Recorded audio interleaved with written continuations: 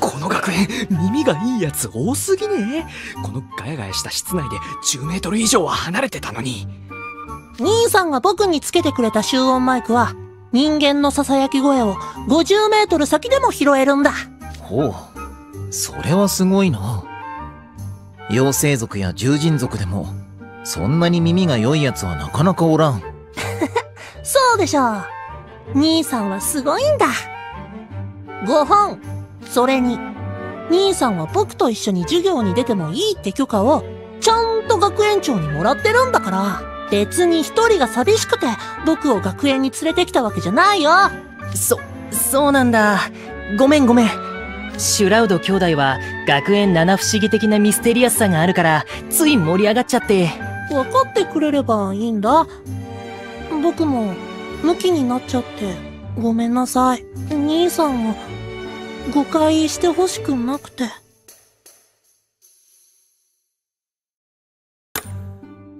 ところで、オルトちゃんも VDC のオーディション受けに来たの？そうなんだ。兄さんがね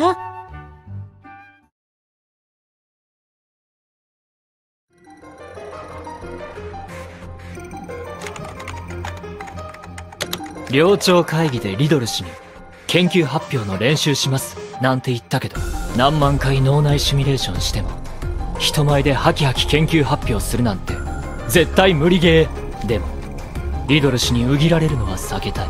なんとかせねばと考えた結果拙者は自分の声から音声ライブラリを作成しついにタイピングに合わせてリアルタイムで自然に文章を読み上げるプログラムを完成させた。自分の声とは思えないほどの両滑舌合成音声とは思えないほどあまりに流暢。オルトどう？控えめに言って最高では。今喋ってる僕の声が読み上げソフトだなんて。絶対に誰も気づかないだろすごいや兄さん。とってもハキハキしてるね。でしょ？いやー実は拙者めっちゃいい声しとるな。これなら質疑応答もスムーズに答えられる。ふひひ。やはり科学技術は根性論に勝利するのだ。天才でどうもすみませんねほんと。うん。きっとリドルローズハートさんもびっくりするね。ダメダメ。け研究発表が終わるまで絶対にリドル氏には内緒にしてこのからくりに気づかず先輩も頑張ればできるじゃありませんか。とかドヤ顔で言ってきたら口パクに気づかなかったんでござるか。これだから素人は。って指さしてプギャーする予定だから。もう兄さんたらあんまり後輩に意地悪しちゃダメだよ。いいのいいの。リドル氏は学年は一つ下だけど寮長歴はあっちの方が長いし先輩みたいなもんでしょ。しかし真剣に取り組んでみると合成音声の世界は実に奥が深い。最近バーチャルアイドルとか流行ってるしボーカルシンセサイザー機能をオルトに搭載してみようかな。